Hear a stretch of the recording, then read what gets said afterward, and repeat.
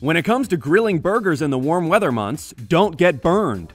Here are five secrets for grilling the perfect burger. Delish says it's always a good idea to press a thumbprint into your burger patty because the meat shrinks as it cooks. Lightly pressing it with your thumb means the patty will keep its shape so it cooks evenly. Never smash your burger with a spatula because it'll lose its juiciness. Before they make it to the flames, the Spruce Eats says you want your patties to stay cold.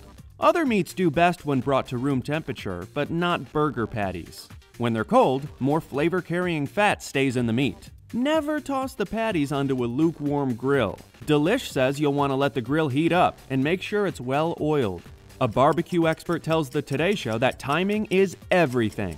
Cook the patties over direct heat for roughly 3 minutes, then do the same thing on the other side. Then, move them to indirect heat for 2 minutes on each side. Epicurious says you're aiming for an internal temp of 160 degrees Fahrenheit if you're using commercial ground beef. The final step is the most important. Always serve the burger on a toasted bun. If not, the same barbecue expert tells the Today Show that the juices from the burger will start to flow, and before you know it, the bun will fall apart. Buns of steel aren't just made at the gym.